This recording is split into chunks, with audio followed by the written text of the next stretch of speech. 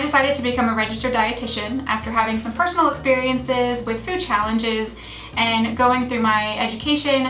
I was just looking for a way to pursue how to give back for all the people that had contributed to helping me with my well-being and my family with their well-being.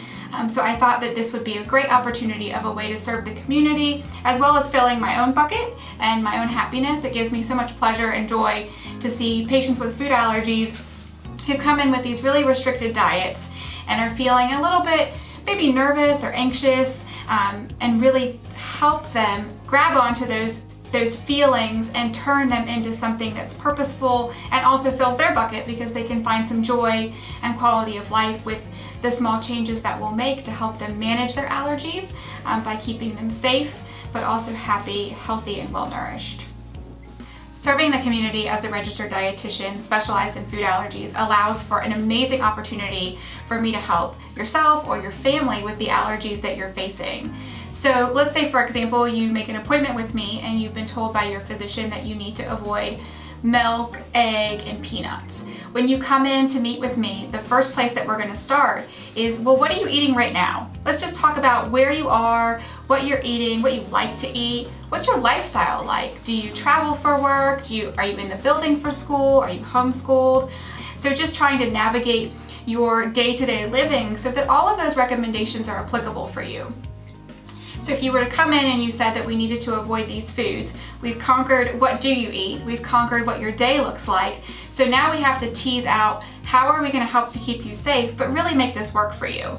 So if you're packing a lunch in the morning, do we need to have a cooler or a thermos? And what are we gonna pack in that cooler or thermos? Maybe I'm gonna recommend um, an appropriate milk alternative.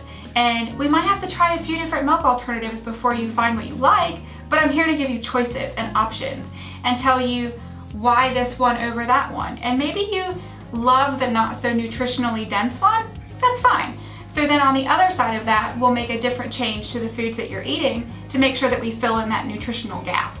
So really is to take you from one side of the bridge to the other side of the bridge, taking those nutritional gaps, crossing the bridge with some slow changes to help you modify your diet that's appropriate for your lifestyle.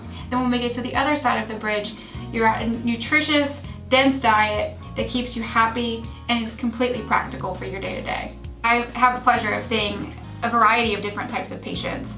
So if you are wanting to see me because maybe your child's having some difficulty with weight gain, or maybe your child has gained a little bit more weight and it's concerning to the pediatrician, I would be so happy to help you meet those goals for weight.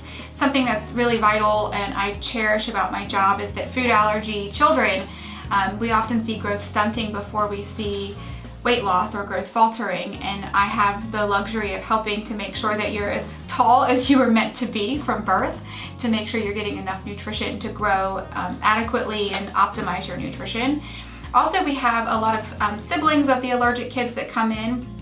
If you're concerned about how do I feed my non-allergic infant because you've had an experience with an older sibling or another family member, I would be so happy to make sure that you feel confident and comfortable feeding your non-allergic infant um, so that we can start introducing these foods into their diet while still keeping the allergic sibling safe.